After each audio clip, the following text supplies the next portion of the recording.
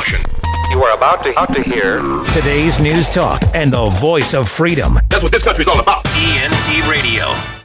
Welcome back, folks. Welcome back. We're in the second hour of this live broadcast. I'm Patrick Henningsen, your host. Thank you for rejoining us here on TNT Today's News Talk. And thank you very much to our community in the TNT chat room. We've got over 100 people in there. I think we hit the high water mark uh, recently of 140 uh, in the TNT live chat. It's great to see those numbers building. Really appreciate you guys. Uh, right now, let's go pivot now back to the United States. I want to talk about the 2024 elections with our next guest, Professor Mark Crispin Miller, who is also the author of two excellent books on this topic, uh, which are Fooled Again How the Right Stole the 2004 Election and Loser Takes All Election Fraud and the Subversion of Democracy between 2000 and 2008. Joining us right now, Mark Crispin Miller. Mark, thanks for joining us on today's Oh. News Talk. My pleasure. Thanks for having me. So, Mark, uh, things are kind of getting a little bit interesting now. We've got the Iowa caucuses behind us, New Hampshire's coming, Super Tuesday's coming. So, I'm going to ask you what you're looking at right now in on this issue of election integrity, of election interference. Firstly, Mark, uh, your your observations so far and how things are shaping up, and I want to ask you, Mark, i i some of the factors that we saw in play in 2020 are some of those factors still going to be a problem or an issue in this election cycle? Have they been resolved or not? Your thoughts on these these important election issues, Mark? Well, um, yeah, the, the the problems that plague the 2020 election are are still problems. Uh, we could go further back though and note that that the problems in 2020, with one exception, were pretty much the same as the problems that have been plaguing our elections for decades. We have the worst voting system in the developed world. Uh, that's the conclusion of researchers at Harvard and the University of Sydney, who have been collaborating on a biannual assessment of, of voting systems worldwide. And the US has the worst. We have the very worst. And I think it's by design. The one factor that was uh, new and different uh, in 2020 and that made things worse yet was this promiscuous use of mail in ballots which was one of many ways in which the COVID crisis served to uh, essentially junk the Constitution.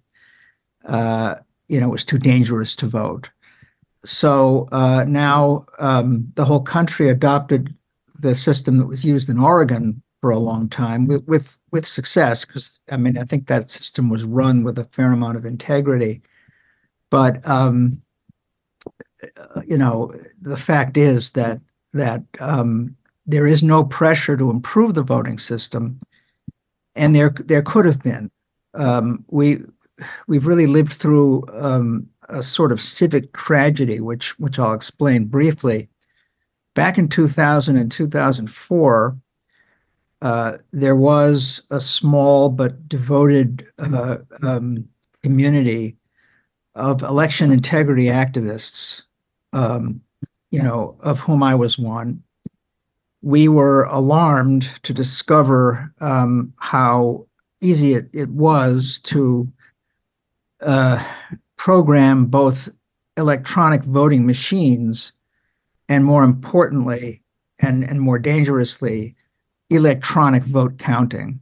So even if you don't live in a in a state or a precinct that has, um, you know, uh, that, that has electronic voting machines, which which are the worst, the chances are uh, uh, excellent that you will have your paper ballot uh, scanned and counted, and I put counted in scare quotes, by a computer.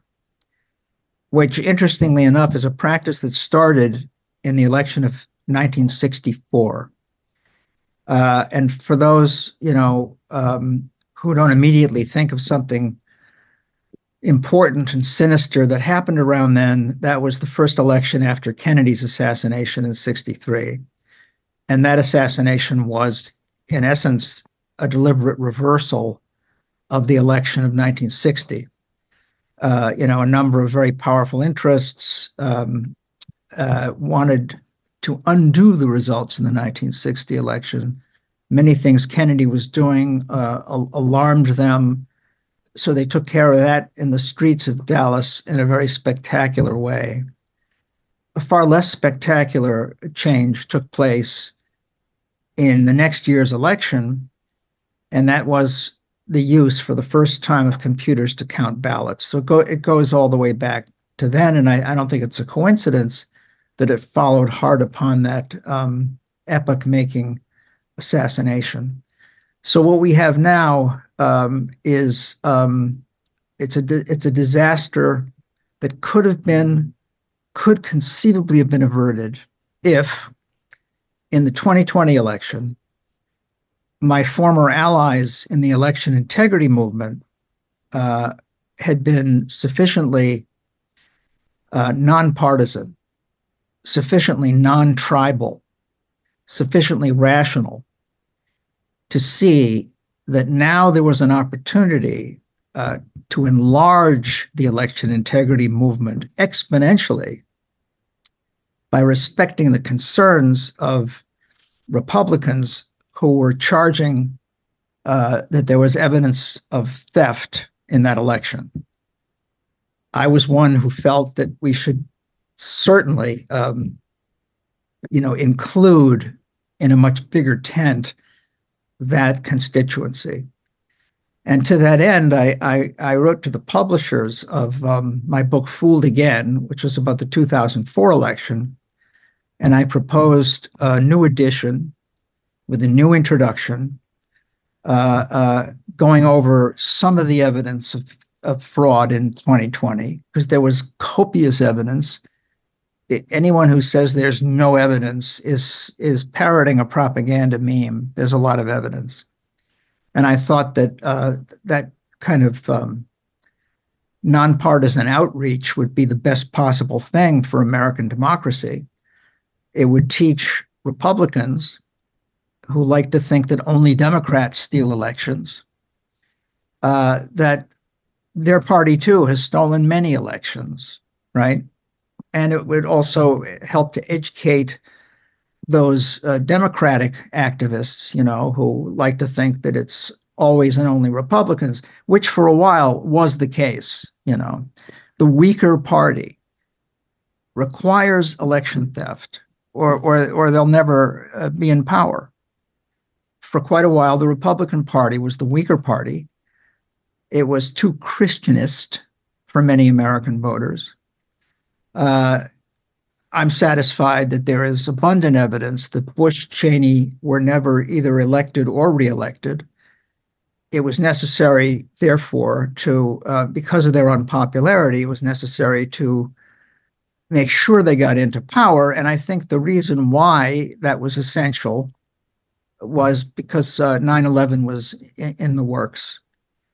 Uh, let me say parenthetically, I, I hope I'm not rambling on at too, too great length, that, you know, for a long time, I used to think that um, the outcomes of our elections were determined by the party that's better at theft.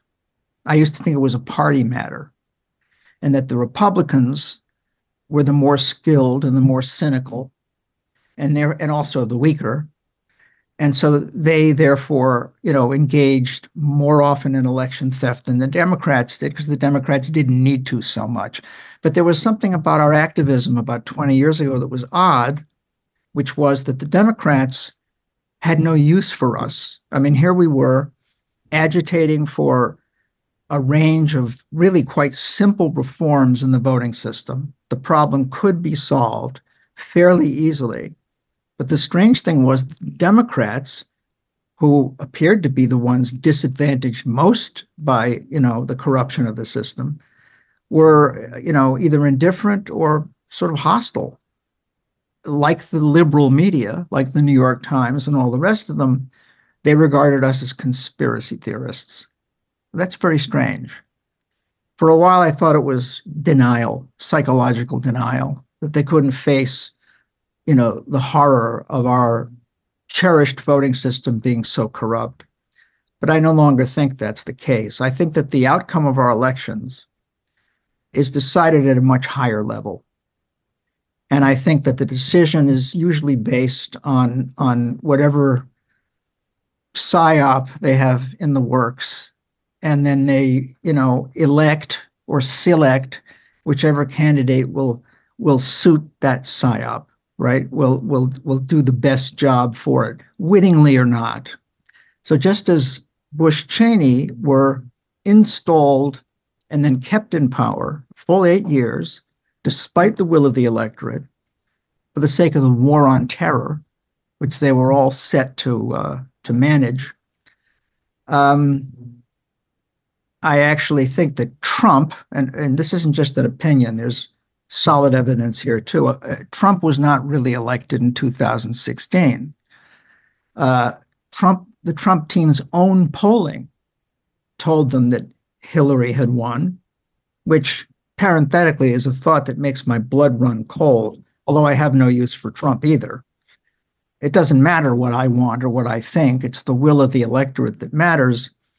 And, and it appears to be the case that Trump was installed to his surprise.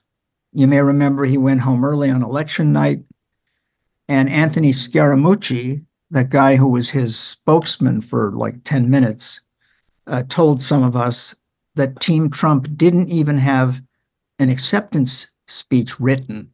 See, so their own polling was so definitive, was so clear that Trump wasn't going to be president. And I, I don't even think he wanted necessarily to be president so much. He went home early. Uh, and I believe now, in retrospect, that the whole purpose of his presidency was uh, to make the COVID crisis far more bitterly divisive than it could possibly have been if Hillary had been president. If there were a president who saw eye to eye with Dr. Fauci uh, and agreed with everything he said and always showed up masked on camera and so on, uh, only the liberal viewers out there uh, would be engaged, you see. Uh, there's a, a, half of the country that was not going to be as compliant, uh, that was not going to be as trustful as the government. And uh, they had to have a kind of representative figure in the presidential spectacle.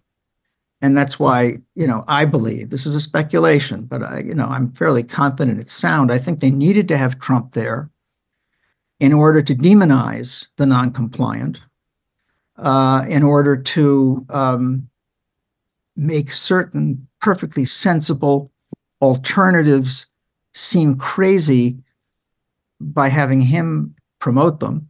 You know, he mentioned hydroxychloroquine during the crisis. He eventually mentioned ivermectin. Uh, and, you know, when he would say these things, you'd see Dr. Fauci behind him, and Dr. Fauci would clutch his head and, you know, close his eyes and look so distressed, you know. So countless liberals would see this and think, oh, Dr. Fauci knows his stuff. That Trump is so full of it. He's such a liar. He said such dangerous things, etc. So there was a sort of seeming clash, you know, between the, the voice of responsible public health, Dr. Fauci, and this sort of Yahoo uh, president who, you know, um, you know, would would uh, shoot from the hip and you know spout wild theories and so on. And um, yet, despite this kind of superficial disagreement, like Trump didn't wear a mask all the time, he still did what he was supposed to do. He still declared a state of emergency. He still uh, backed lockdown. Worst of all, he still, um, you know, launched Operation Warp Speed, which brought us the bioweapon called a vaccine. Uh, so he was the perfect choice. I, I, don't believe he was really conscious of all this. You know, I don't think he was in on it. I think he's someone who's very easily manipulated because he's so narcissistic. So, you know, it's so ironic. I mean, everybody thinks Trump disastrously won in 2016, and that, uh, you know, the same everybody, that is, liberals, the media, think that he definitely lost in 2020 as far as I can see, the forensic evidence tells us pretty clearly that the opposite is the case. That Trump was not elected, he was installed. By 2020, Well, let's uh, let's talk about yeah. Yeah. Let's talk about ahead. 2020, uh, Mark. Uh, t- so what happened? Uh, the co- COVID was on the ballot actually in in 2020. A lot of states that uh, you saw a real anti-lockdown movement uh, in Michigan, in Pennsylvania. You saw surges of uh, support. Um, and Trump made comments late later uh, during that campaign trail that he wasn't uh, going to, you know, return to lockdowns and so forth as that became a lo- an issue later. And so, but it wasn't necessarily reflected because when Nancy Pelosi, for instance, started saying in May, it's not safe to go vote in person. Don't go vote in person. And then, as you said, Mark, the the mass mail-in ballots became the sort of feature of the 2020 election. Laws were passed um, in, uh, I think, Michigan, two weeks uh, postmarked by election day could accept ballots two weeks after election day. In Pennsylvania, it was three days. That went to the Supreme Court. Those were some of the game changers in those swing states. Were the late ballots, and so this opened up a huge, huge potential for abuse for ballot harvesting. So let me run down those issues, Mark, and tell me if these are still in play. Ballot harvesting. I know it's legal in some states, but it's also it, it's hard to regulate. The other is drop boxes. Mark Zuckerberg, others plowed a lot of money into pioneering this uh, mass drop box systems in these states. Again, difficult to regulate. There's been uh, accusations of ballot stuffing and harvesting and so forth. Then there's this sort of late voting, accepting votes late, the extended counting period. In Arizona, Mark, we had a month after the 2022 midterms, a month. Arizona is not the biggest state in the union. Um, so big tech online suppression of content, purging of accounts, but especially suppression of news uh, during the election cycle, especially towards the end. Google searches. I think it's Dr. Robert Epstein who's done some Right. great data analysis on this, basically saying it can swing up to 6 million votes. Google, by sending out reminders to Democrats, not to Republicans, could go the other way, as you said, depending on which way the establishment's heading on this. So, like, all of these are main points that have been identified from the 2020 election and the Hunter Biden laptop story as well. That's another one. Um, there doesn't seem to be a whole lot of change in this. Are there? Is there any reform that you've seen, Mark, in this cycle for any of these uh, problems? No, th- th- there has not been any reform. and How could there be?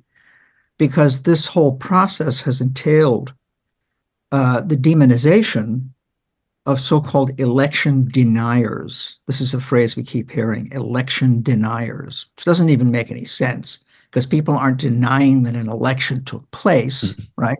But that has the propaganda purpose of evoking Holocaust denial.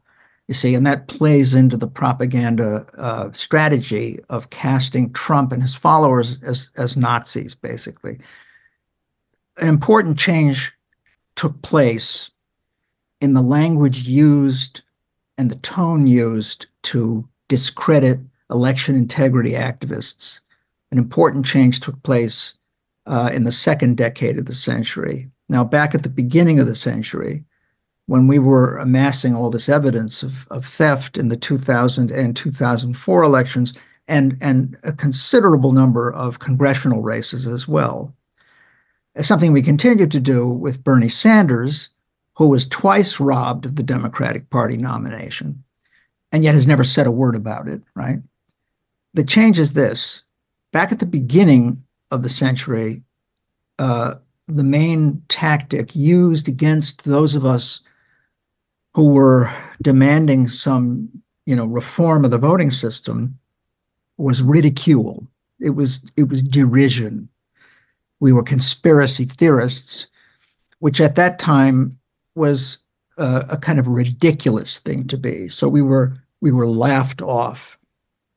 Some of your viewers probably know that the phrase conspiracy theory uh, had been weaponized by the CIA in 1967, specifically to um, discredit critics of the Warren Report. Okay. but we know this from the declassified memo 1035 960 that the CIA sent out to all its station chiefs worldwide.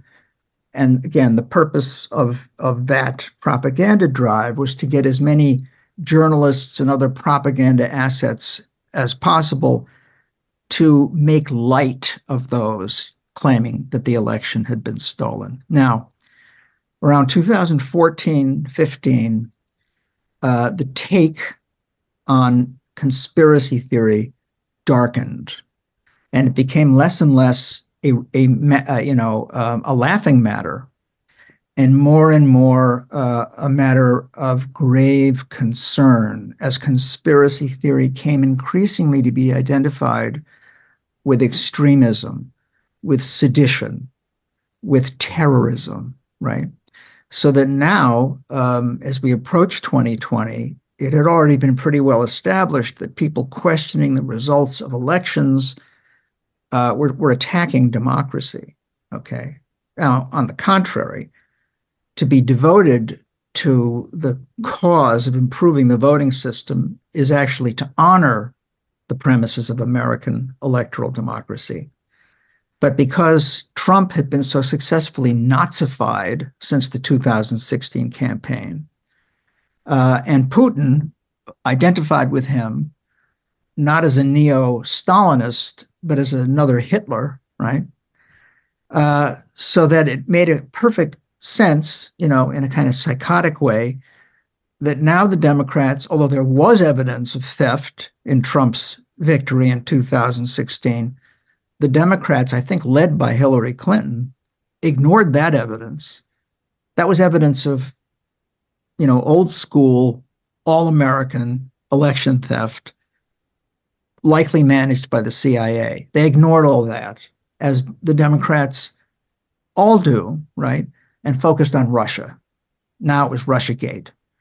So you were pro Putin, you were pro Trump, if you uh, question the outcome of an election, just as you were pro Trump, if you suggested to somebody in, in, the elevator, as happened to me in 2020, you know, that they maybe not wear that mask.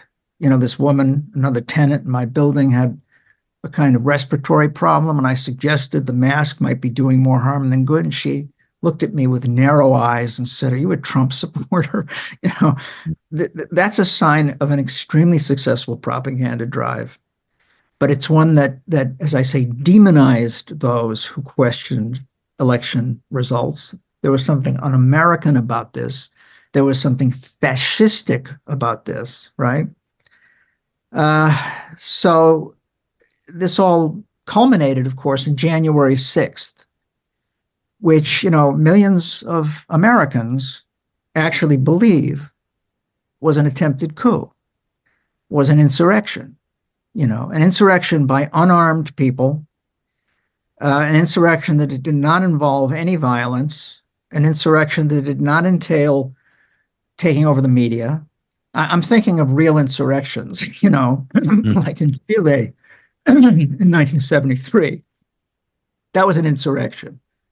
January 6th was a charade uh, managed by the FBI, a kind of a false flag. Uh, but it did have precisely the same effect, and here I'll probably piss some people off, that the Reichstag fire had in 1933, uh, supposedly set by the communists, which gave uh, Adolf Hitler the opportunity to get the Enabling Act passed so he could become Germany's dictator, right? The Reichstag fire, which all the evidence suggests strongly the Nazis set themselves, was followed immediately by a national sweep where they arrested hundreds and hundreds of um, communists, socialists, Jews, and others. Uh, and and that's been going on here since uh, that insurrection. I just read a piece about the DOJ now planning to to arrest thousands more I mean, this is back in you know 2021, uh, but it is it is being used as a means of political repression. But because the other side has been as successfully identified with Nazis as the left once was successfully identified with communists, right? There's been a kind of flip, an ideological flip. People don't see this for what it is. They don't see it as, as repression of democratic rights. They see it as necessary to save us all from uh, a fascist takeover. You know, this has been going on at a high boil since Veterans Day, when Trump, you know, channeled Hitler and referred to the left as vermin. Well, he also mentioned fascists. He's a little confused, but the fact is, you know, it did sound like Hitler. And this then enabled every Democrat and his brother or sister, you know, all of them, the politicians, the journalists, the nightclub, uh, not nightclub, the comedians, you know, Jimmy Kimmel, the whole comedy desk at the CIA. This enabled them all to scream and yell endlessly. It's still going on about Trump posing the same threat that Hitler posed. See?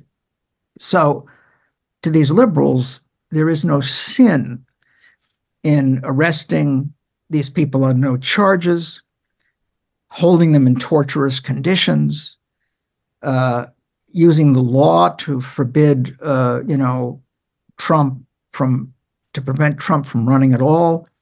These are all fascist tricks. But because we have this weird projection going on where the Democrats keep accusing the Republicans or Trump of doing what the Democrats are doing and what they plan to do, there's a kind of um, blindness, you know, an inability to see that, that they are the danger they keep warning against. See? And because of all this, the answer to your question, sadly, is no. Nothing's been improved because you can't ever reform anything if people are unaware that there's a problem.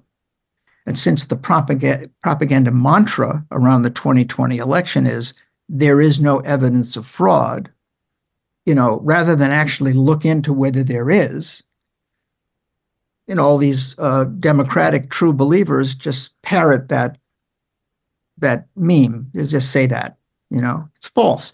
There are, um, you know, extremely revealing uh, inquiries that have been going on all over the country, you know, in, in Michigan, Wisconsin, in Arizona, in Texas, uh, making very clear that countless votes were stolen uh, for Joe Biden, who never even really ran, you know, what he stayed in his basement through the whole campaign. And he had as his running mate the least popular primary candidate of all of them, Kamala Harris. And we were supposed to believe that it was a blowout and that um, Biden got more votes than Obama had. I mean, this is this is lunacy, but um, it's become the official truth, uh, and it's it's really quite alarming.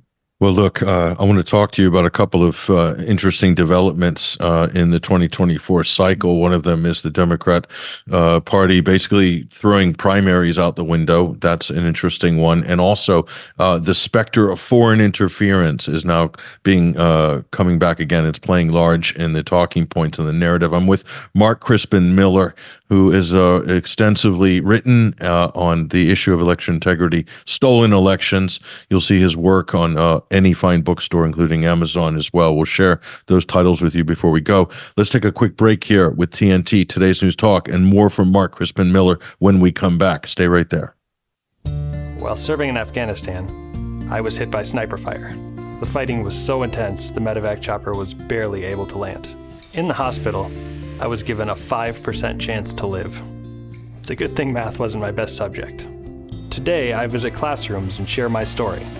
I talk to kids about dealing with life's struggles. I tell them, with a little help and a lot of work, that you can overcome any challenge. DAV helps veterans like Adam get the benefits they've earned. They help more than a million veterans every year in life changing ways. I know that some struggles are big and some are small, but they're all struggles, and you have to learn to get through them. With support from DAV, more veterans like me can live their best life. And as a new father, I have one more reason to keep on keeping on. My victory is being there for the next generation. Adam Alexander, may your victories inspire many more. Support more victories for veterans. Go to DAV.org. Patrick Henningsen talks on today's News Talk Radio, TNT. All right, welcome back, ladies and gentlemen. Welcome back. It's still Monday. We're in the final segment of the final hour of this live broadcast here. Uh, welcoming onto the program, of course, Mark Crispin Miller, professor at New York University. Mark, uh, also, where can people find your writing uh, and your sort of up to date work on these topics? Go ahead.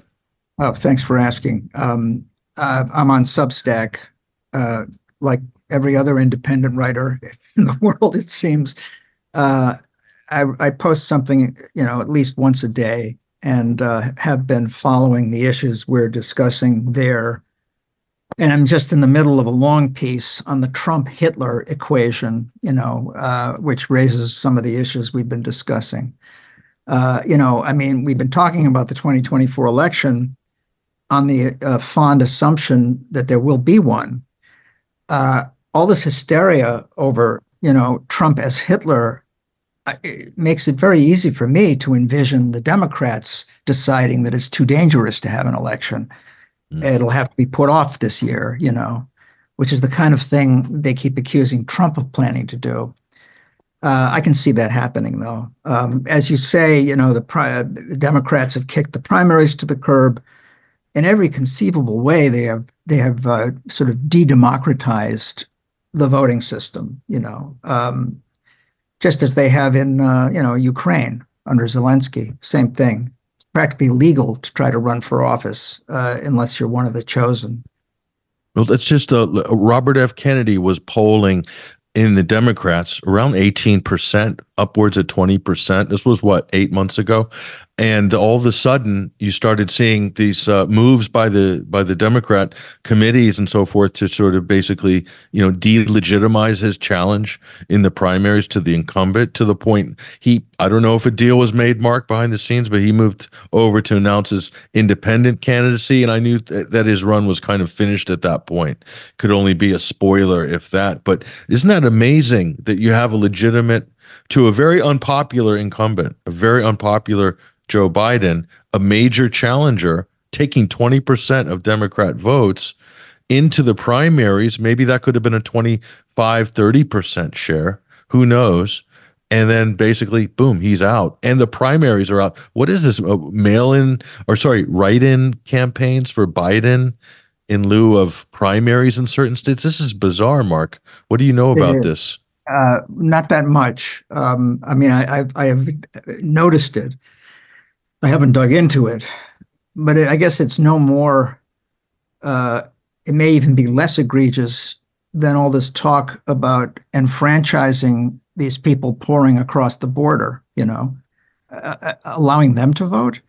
Uh, that's just um, you know that's so patently corrupt. Uh, you know, and alarming because these aren't just people you know capable of voting if they're given the right to vote but they're also being mostly uh, military age males capable of constituting some kind of uh, you know military force.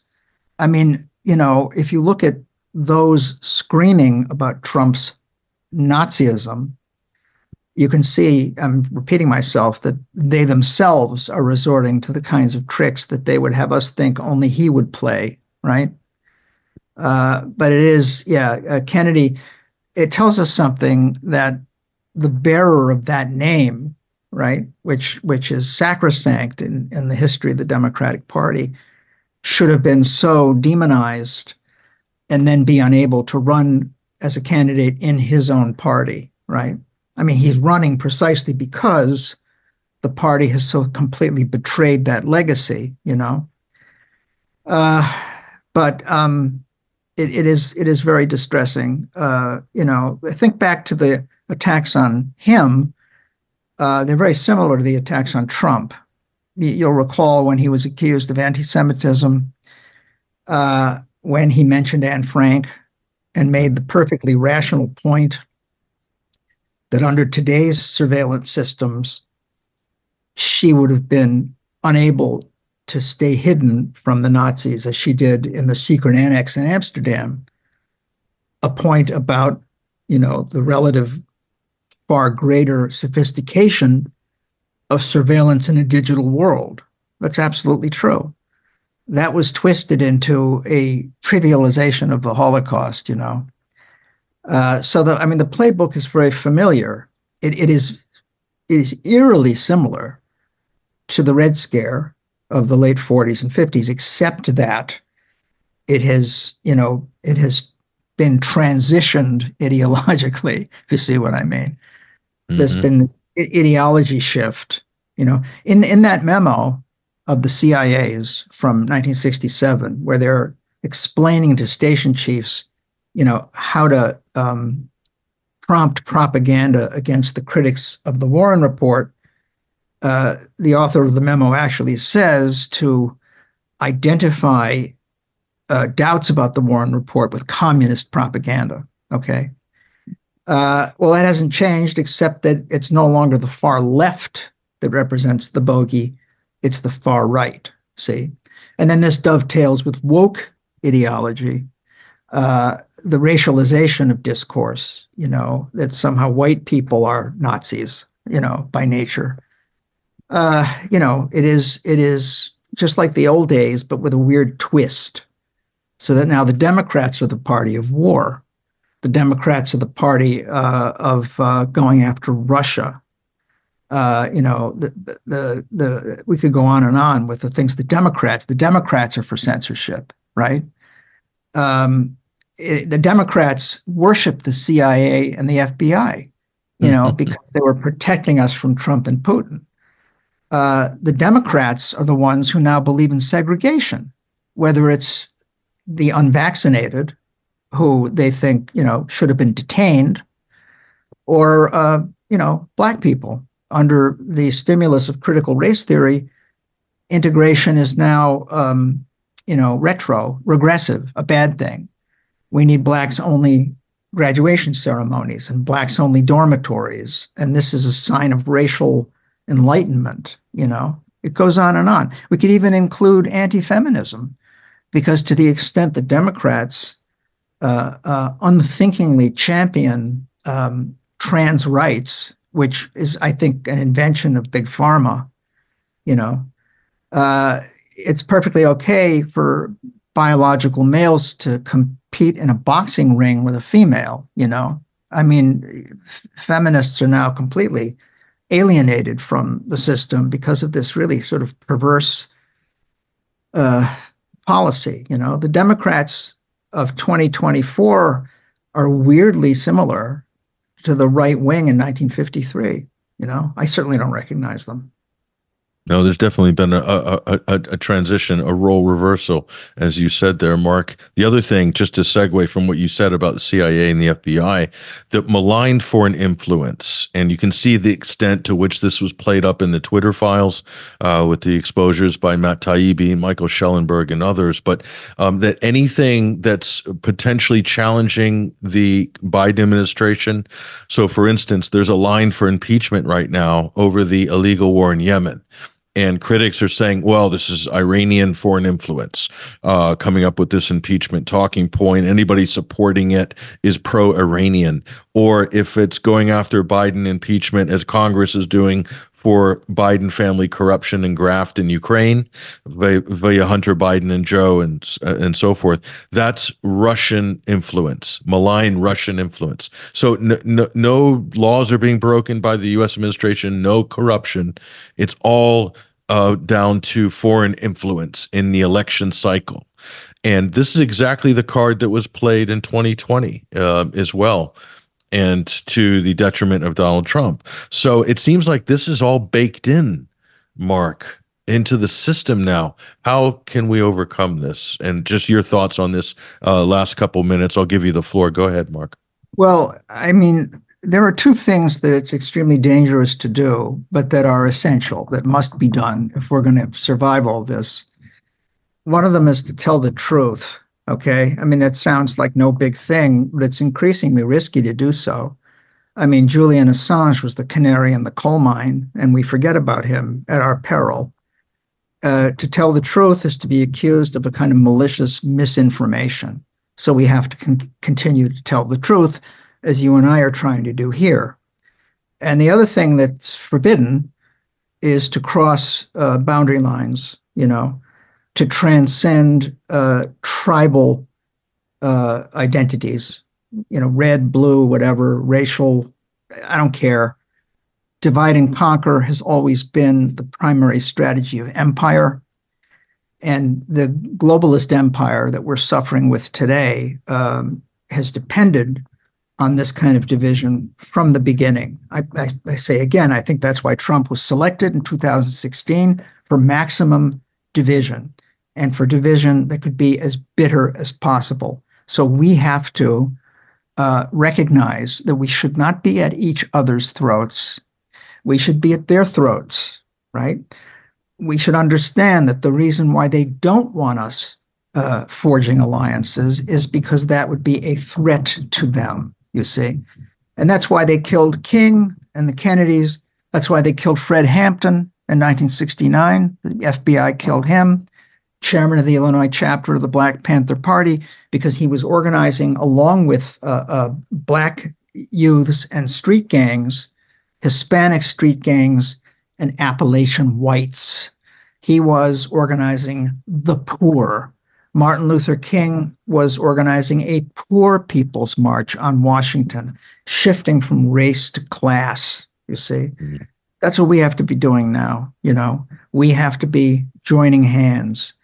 Uh, anyone who is promoting division is working for the enemy, as far as I'm concerned. So if we can manage those two extremely daunting tasks, which is talking to each other and telling the truth, it shouldn't be controversial, either one of those. If we can do those things, we can survive. Uh, but uh, if we don't, we can't.